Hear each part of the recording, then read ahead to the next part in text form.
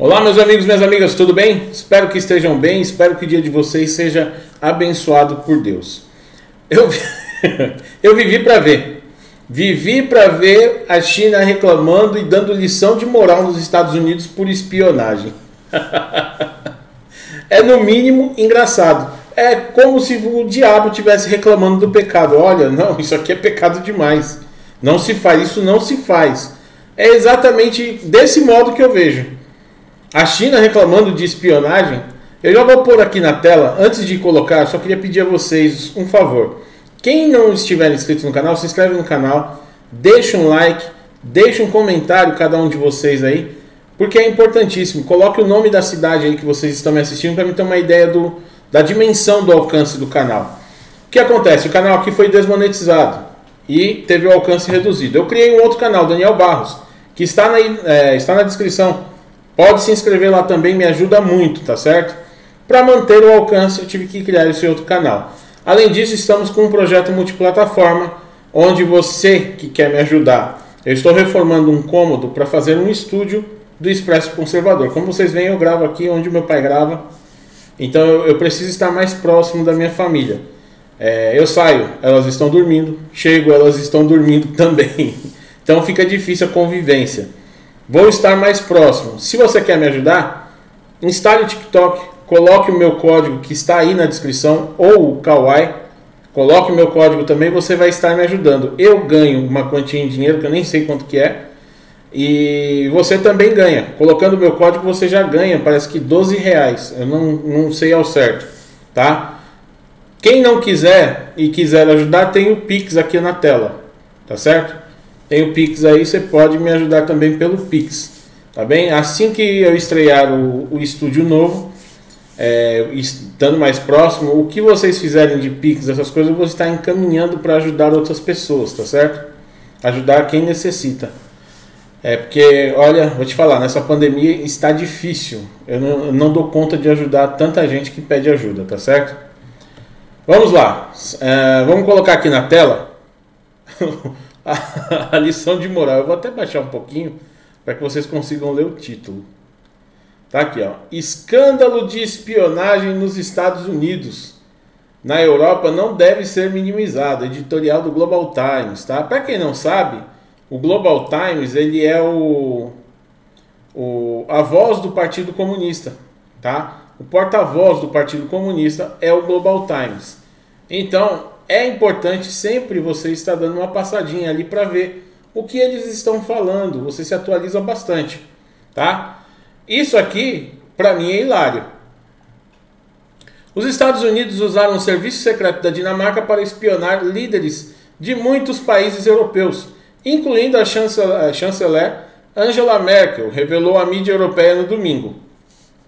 A Dinamarca é uma aliada próxima dos Estados Unidos. De acordo com relatos da mídia, a Dinamarca hospeda várias estações importantes para cabos submarinos de internet para a Suécia, Noruega, Alemanha, Holanda e Reino Unido. Em 2013, Edward Snowden, ex-trabalhador, é, ex-contratante da Agência de Segurança Nacional Americana, a CIA, denunciou o programa de vigilância PRISM dos Estados Unidos, que despertou forte insatisfação em países europeus, como a Alemanha. Mas os protestos do lado europeu não levaram a nenhum resultado. Desta vez, a mídia europeia expôs mais detalhes sobre os Estados Unidos espionando líderes de países europeus. Isso foi lá em 2013, gente. E eles estão levantando lebre ainda aí. Espionando líderes de países europeus, especialmente o papel que a Dinamarca desempenhou nisso. Ele contém uma grande quantidade de informações e é realmente chocante. Eles fazem uma dramatização que você, se você não conhece, você acredita. Eles falam com, sabe, com verdade ali. Olha, é isso. Eles afirmam ali de um modo que eles mesmos acreditam que isso seja verdade, tá? Onde eu parei aqui, tá aqui. Não há igualdade e respeito mútuo no Ocidente. Vamos fazer uma pausa. O Brasil é um aliado importante da, da China. O Brasil tem relações com a China. Você acha mesmo que a China não espiona no Brasil? Você acha que os Estados Unidos não espionam no Brasil? Você acha que a China não espiona os Estados Unidos, não espionam os Estados Unidos não espionam? Todos os países espionam um ao outro. E isso é natural. Tem que um tem que saber o que o outro está fazendo ali.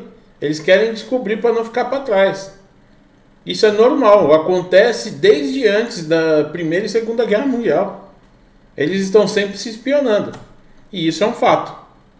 Se você. É, é, até na Bíblia já tinha espião lá, quando envia, é, é Moisés envia os espias à Terra Santa. Eles foram espionar, literalmente. Então é, é, algo natural, mas eles dramatizam. Olha, os Estados Unidos não respeitam os seus aliados, não respeitam os seus parceiros.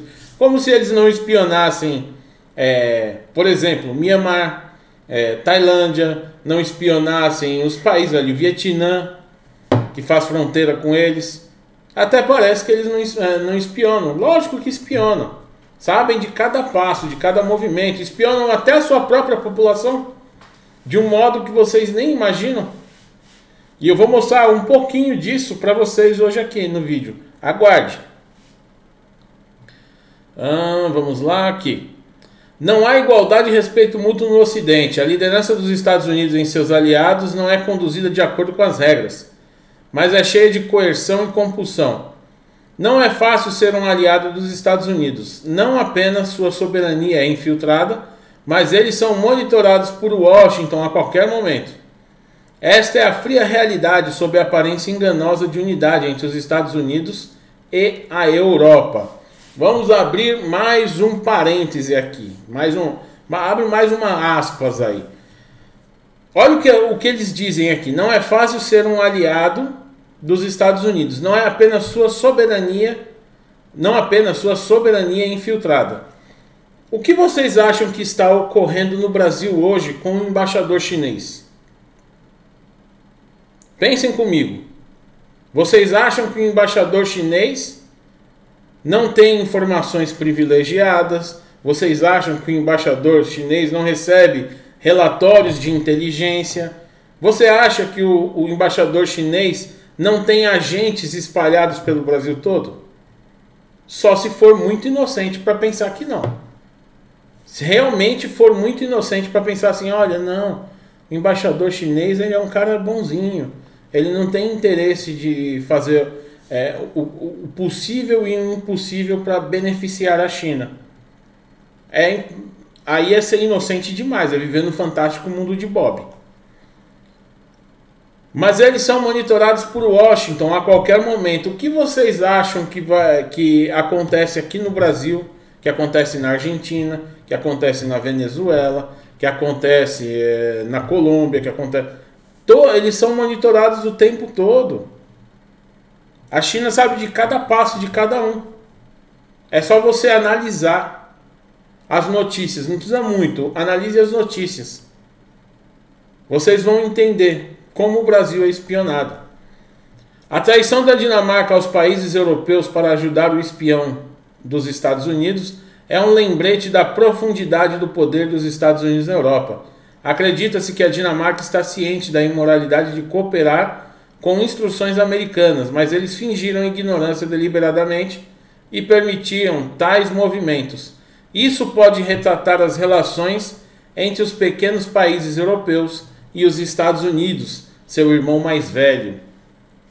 Isso acontece em todo lugar. A China faz idêntico, faz de modo idêntico. Eu vou citar o exemplo da Austrália, onde tinha políticos, políticos australianos que eram filiados ao Partido Comunista Chinês. Pessoas infiltradas ali para fazer uma debandada na democracia, destruir, fazer ruir a democracia australiana e fazer leis que favoreciam a China. E é por isso que está nesse pé a relação entre Austrália e China. E olha que a China é o maior aliado é, comercial, o maior parceiro comercial da Austrália. Assim como é do Brasil. Para vocês verem o nível. Olha aqui o que acontece. Nós temos governadores que são vassalos da China. Preciso citar nomes? Eu creio que não, né? Vocês devem saber de quem eu estou falando. Ele tem uma famosa empresa que tem escritórios em Shanghai, como ele diz, em Shanghai. Tem lá.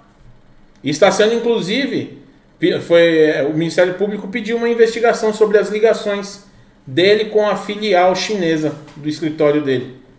E espero que encontrem logo o que estão, o que estão procurando, que o Ministério Público pediu para investigar.